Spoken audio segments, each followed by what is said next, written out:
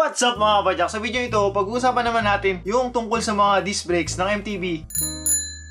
Meron dalawang klaseng disc brake ng MTB. Merong mechanical, merong hydraulic disc brake. Pag-uusapan natin kung alin ba sa dalawa yung mas magandang gamitin, kung ano yung pagkakaiba nila, ang advantage, disadvantage ng isa sa isa. And simulan na natin. Ganda yung tsura ng hydraulic disc brake. Ganda naman yung tsura ng mechanical disc brake.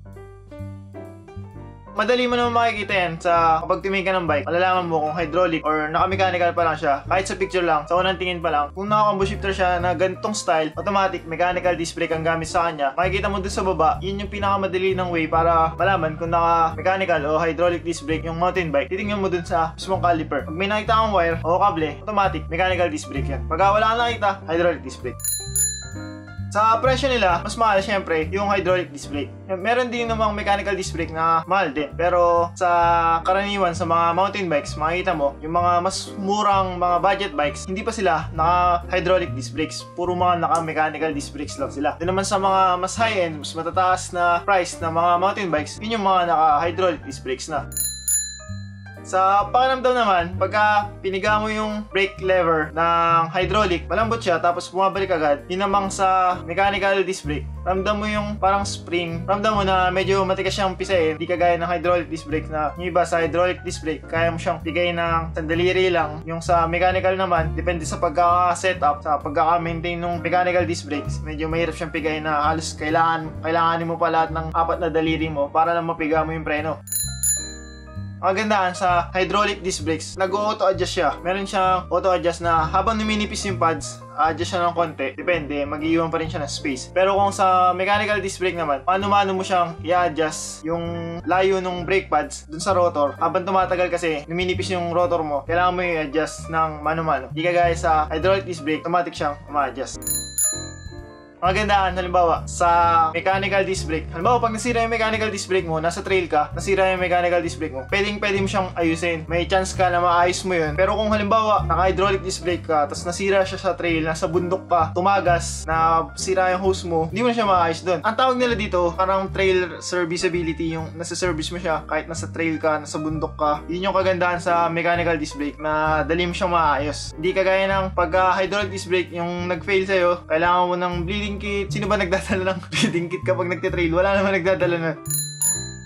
Kapag nagpipreno kasi tayo, yung friction niya, nag-cause yan ng init. Umiinit yung rotor, yung brake pads. Parehas namang umiinit yan eh, yung rotor at brake pad. Regardless kung mechanical o hydraulic disc brake yan. Kaso sa hydraulic disc brake, may tendency na kapag binabad mo yung pagbe-brake mo, pag preno mo, halimbawa palusong kayo, kapag binabad mo yung preno, iinit yung, yung caliper, iinit yung piston, iinit yung caliper. Yung caliper, may lamang oil, pwede rin uminit yung oil, pwede rin kumulo yung oil. At pag nangyari yun, mawawala ka ng preno, hindi kakapit yung preno mo. Yun yung disadvantage ng hydraulic disc brake. Kaya tip dyan, huwag masyadong ibababad yung preno para hindi kumulo yung mineral oil sa loob ng hydraulic disc brakes mo. Kaya nga meron ding lumalabas na mga may cooling fin na brake pad, meron ding rotor na sabi, mabilis lumamig, di umiinit. Style ng rotor, may mga ganun lumalabas na product kasi yun nga yung issue dyan. Eh sa mechanical disc brake, walang mineral oil sa loob, kaya walang kukulo. Pero pwede pa rin siyang mawalan ng preno pag sobrang init. Parehas lang naman nilang na-experience yun na kapag ka sobrang init ng brake pad, pwede pa rin mawalan ng preno kaso hindi siya biglaan. Hindi kagaya ng pag biglang kumulo yung mineral oil sa loob ng hydraulic disc brake, dun wala na talagang preno. Ako hindi ko pa naman nararanasan yan, kaya parang ano na lang yan eh. Parang braking technique na lang yan. Ayusin mo lang yung pagbe-brake mo, hindi mo rin may experience yan. So ano nga po mas maganda sa dalawa? Kung makikita mo dyan talaga sa mga higher end bikes, mga naka-hydraulic disc brakes sila. Kung ako papapiliin, syempre, dun ako sa hydraulic disc brakes. Kaya kung naka-mechanical disc brake ka, tapos nag-iisip ka mag-upgrade sa hydraulic disc brake, gawin mo na kung may budget ka, kung may pang-upgrade ka. Para sa akin, yung mga trade-off nun, mas bawi naman dun sa kung ano yung benefit ng hydraulic disc brake. Kasi sa akin,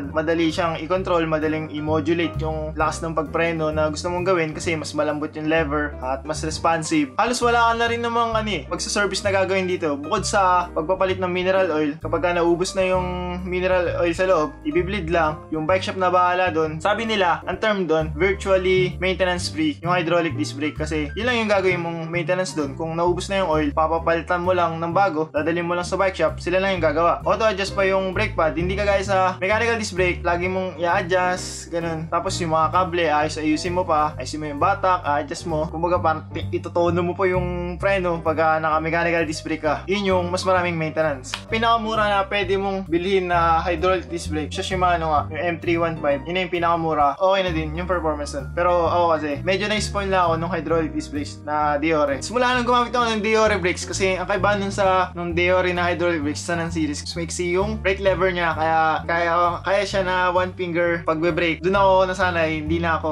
magdadalawang ganyan, hindi na tatlo, hindi na apat. Pero kahit naman yung non-series hydraulic brakes, okay naman yung performance nun, maganda naman na maasahan mo din yung stopping power niya and yung pagmo-modulate ng brake nga. So ayun lang mga kapadyak, sana may natutulong kayo dyan sa disc brakes na madami rin kasi nagtatanong sa akin lagi kung alin ba daw mas maganda kasi parang gusto niya bumili ng hydraulic brakes. Kung nag-iisip ka bumili ng hydraulic brakes, gawin mo na kasi mas masarap yung experience pag uh, naka-hydraulic brakes kesa sa naka-disc brake, lalo na sa mountain bike. O ayun lang, comment kayo dito sa comment section kung may tanong pa kayo, kahit anong tanong nyo basta tungkol sa bike, basta kaya sagutin. Subukan natin sagutin yan sa comment section. Kaya comment lang, tapos huwag nyo kalimutan mag-like at mag-subscribe para sa mga susunod pang mga videos. So yun lang, kita-kits ulit sa mga susunod na video. Ride safe kayo lagi mga kapadyak.